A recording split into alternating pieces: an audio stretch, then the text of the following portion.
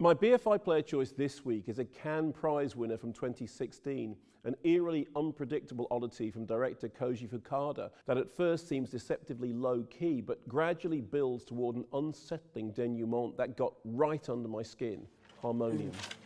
何してる人なんですかだから昔のお友達うんそれはさっき聞きましたけど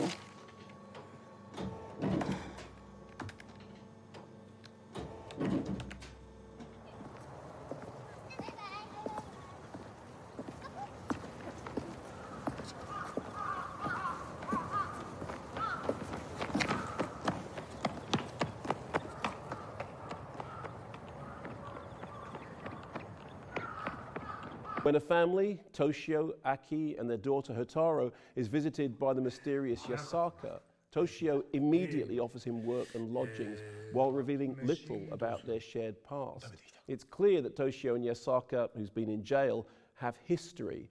but the exact nature of their relationship is unclear.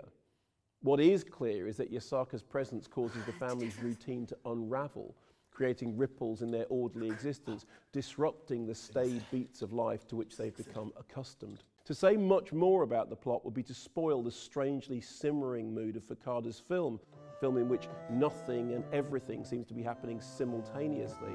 and in which key details are often revealed more through gesture than explanation. As one American critic said of Harmonium on its first release, your response to Fukada's latest depends on your ability and desire to get used to its lack of normal rhythm. Now, having scored a critical hit with his 2010 comedy Hospitalité and raised eyebrows with 2015's divisive Sayonara, sold as the first movie to feature an android performing opposite a human actor, Fukada scored a festival hit with Harmonium, which won Best Actor and Best Actress awards for Tadanobu Asano and Mariko Tsutsui in Hong Kong and Japan, respectively, alongside the Un Certain Regard Jury Prize at Cannes.